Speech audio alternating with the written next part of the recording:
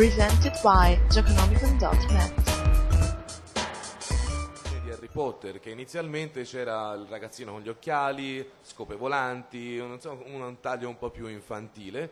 Alla seconda edizione dell'edizione inglese, poi era uguale a quella americana, nella copertina c'era semplicemente J.K. Rowling, Harry Potter ed un background indefinito, di modo che non si riusciva immediatamente a pensare che fosse un libro fantasy. Maybe that uh, allowed you to uh, carry around your Harry Potter uh, copy without being criticized by your friends and neighbors and the people you worked with. E magari questo ha fatto sì che qualcuno potesse po- andare a giro con la, la sua copia di Harry Potter sotto braccio senza essere preso in giro dai vicini o dai colleghi di lavoro. Emanuele, Emanuele Ok.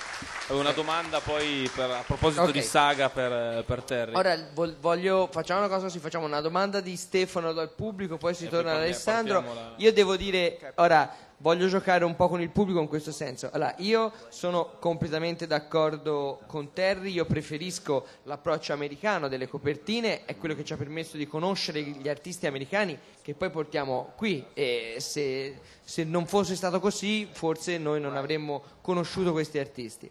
Eh, quindi la prima domanda al pubblico, però prima di, eh, di fare la domanda a Terry, chi farà la domanda deve donarci la sua impressione sulle copertine italiane di Terry ora, di Terry Brooks, eh, se questa filosofia, questa differenza di filosofia fra gli Stati Uniti e l'America, se gli piace o meno, ok?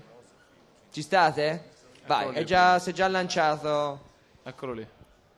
Mi rendo conto che l'approccio americano viene da un mercato più intenso, per cui la approvo, però personalmente preferisco il taglio unico in tutta la saga. La domanda che volevo fare riguarda l'adattamento di, se- di- di un lavoro. Perché non è possibile scegliere un diverso formato, come per esempio lo sceneggiato televisivo, che essendo molto più lungo imprime meno il problema dell'accorciare i tempi?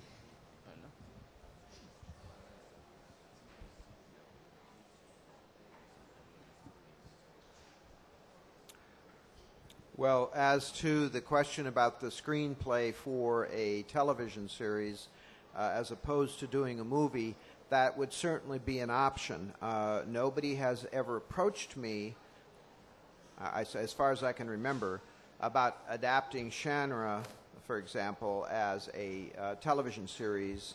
It's always been about making it a full, full-length movie. Um, and I suppose because the thinking may be that it's a big, sweeping epic uh, and it belongs on a bigger screen, which I think is, you know, I, I don't think that's right, but uh, that seems to be the thinking at the moment, and uh, it certainly could change. Dice, beh, eh, rispondendo alla tua domanda, finora non è mai stato, non gli è mai stato proposto di fare una, sceneggi- una sceneggiatura, ad esempio di Shannara, per un serial televisivo. Di sicuro è una cosa, un'opzione che avrebbe anche, anche senso fare, ma probabilmente gli editori o i, eh, i registi, i produttori, vedono in Shannara tematiche epiche e grandiose che meglio si adattano al grande schermo invece che a quello televisivo. Opinione secondo lui assolutamente folle. Let me throw something out that we haven't talked about uh, about this cover art business. Uh, one of the things that uh, is true about people who buy the books in the United States with those specialized covers is that a lot of readers collect the books for the art um, and they they want the different editions with the different cover art and the interior art when there's interior art involved. And uh, for a long time, I've been asked if we're ever going to do uh, any further interior art, and in fact, we're looking to put interior art into a series of books that I'm going to be writing uh, over the next three years. So you can take that uh, for what it's worth, and maybe it will happen. E ritornando un attimo però sulle copertine c'è una cosa che volevo aggiungere perché una, una peculiarità del mercato americano è che eh, c'è una sorta di collezionismo dei libri in base anche alle illustrazioni che ci sono sulla copertina e quindi è molto gradito il fatto di avere nuove edizioni con copertine con artwork diversi e lo stesso discorso è valido anche per eh, le illustrazioni interne dei libri. Gli è stato chiesto svariate volte di fare nuove edizioni con, aggiungendo magari dove già non erano presenti delle illustrazioni, degli artwork interni al, al al libro stesso. But talking for just a moment about ebooks, one of the issues with erosion of sales of paper books by ebooks is that all they're taking away is the print. But if there's art in the books or art on the cover, you don't get that with the ebooks the same way you do with the hardcover book, particularly if you like collecting the art. So there's some reason to think that the more that the market moves towards ebooks, the more that artists, illustrators become marginalized in their opportunities to produce their art.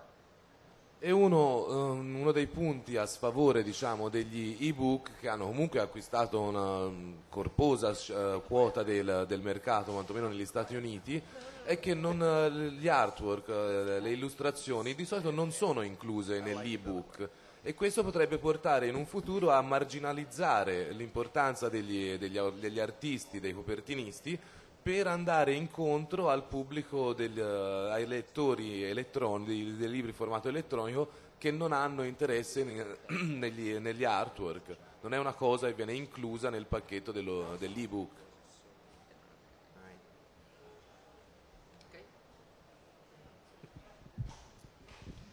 Beh, allora, per quanto riguarda le copertine, volevo dire che in Italia ultimamente, su- anche sui suoi libri, secondo me non si, può- non si sa un po' più che pesci pigliare.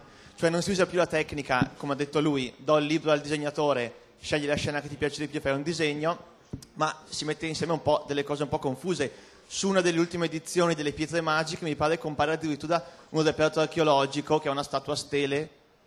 Ma E- lì, vabbè, lì il discorso veramente potrebbe essere quasi un altro meeting a parte. L'Italia ha anche altre complessità eh, in generale sulla collocazione dei libri e magari eh, Alessandro, che è anche editor di Armenia, potrebbe raccontarci a volte quello che succede.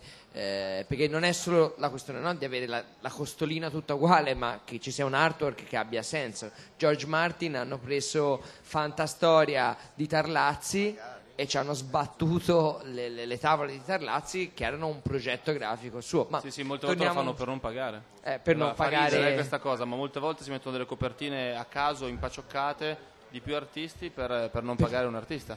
Perché non abbiamo questa cultura noi delle copertine. Un reperto archeologico che assolutamente ovviamente non ha nulla a che Eh, vedere certo, con la... certo. E tra l'altro Bene. non hai copyright. Se tu prendi la Sfinge e metti una foto della Sfinge, non hai copyright da pagare. Quindi Eh sì, fai certo, le Sfingi e su Gli autori sono andati ormai.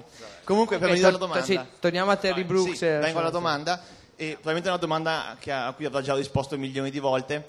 E vorrei sapere qual è uno dei suoi autori di fantasy preferito e se ha già- attualmente legge fantasy, qual è uno dei suoi autori emergenti preferito. Grazie.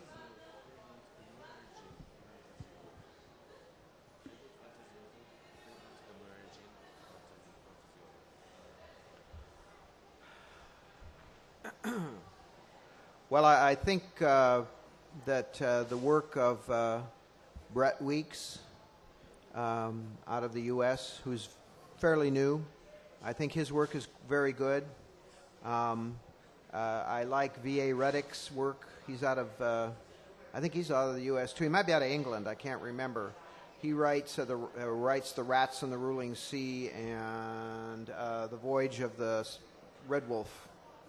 Um, I think they're both very talented. Um, I, I, get, I actually read new writers all the time whose work is, uh, is quite good um, on the U.S. market. I don't see much from anywhere else, uh, not even England, uh, interestingly enough, even though those are English books. They, many of them never make it over to the U.S., so I don't get a chance to read them. Ok, dice, tra i suoi autori, eh, lui legge moltissimo autori emergenti di fantasy, quindi perché comunque fa parte del suo mondo. Tra gli autori che preferisce comunque sono Brett Weeks e Reddix, ma comunque non vede, se si escludono gli Stati Uniti, dove il mercato anche dei giovani scrittori è abbastanza eh, vivace, anche in Inghilterra, che ha comunque un retaggio più stratificato di fantasy, come nelle altre parti d'Europa, non è che veda tantissimo fermento o grandi cose all'orizzonte.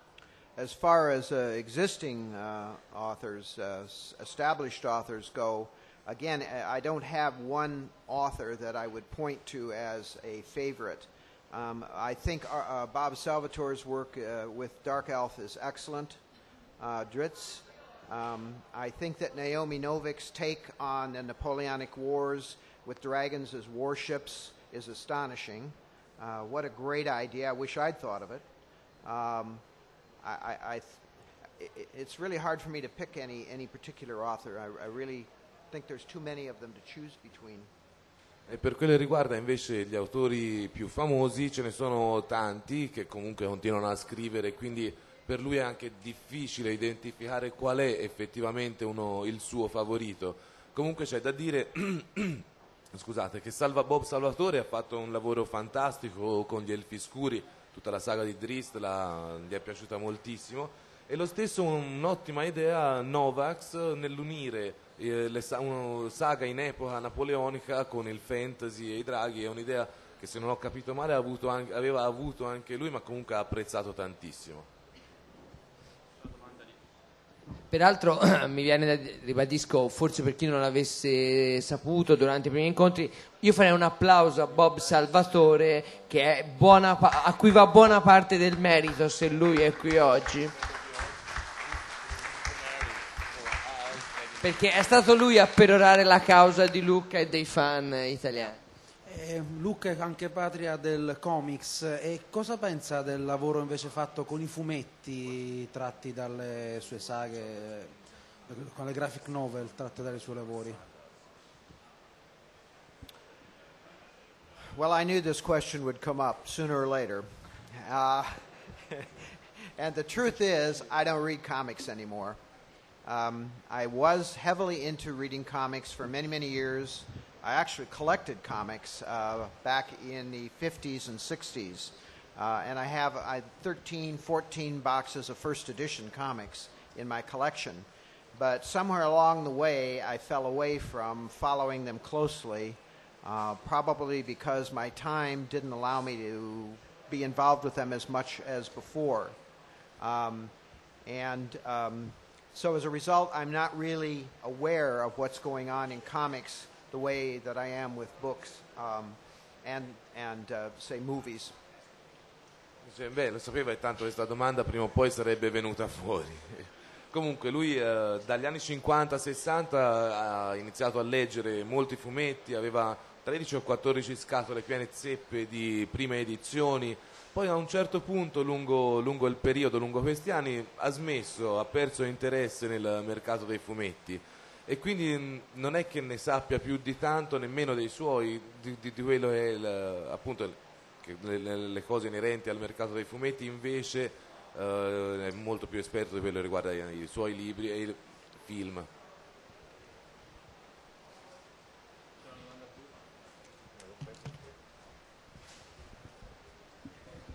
Salve. Ehm, in pratica, riguardando gli ultimi due libri scritti da te in America, il eh, Princess of Landover e l'ultimo di Shannara, Bearers, non ricordo il continu- l'esatto titolo, eh, quando verranno pubblicati in Italia? Non so se già state fatta questa domanda sabato. La Mondadori che sta facendo? Funny how often that question has come up this weekend. È divertente vedere che questa domanda è venuta fuori spesso eh, in questo fine settimana. Non durante il meeting di sabato, not during the meeting of Saturday. Yes. Probably also during the meeting of Saturday? Uh, practically uh, every uh, venue I've been at, that question has come up. Um, and it's a legitimate question, and I don't know the answer. But I'll tell you what, I will know the answer within the next two weeks.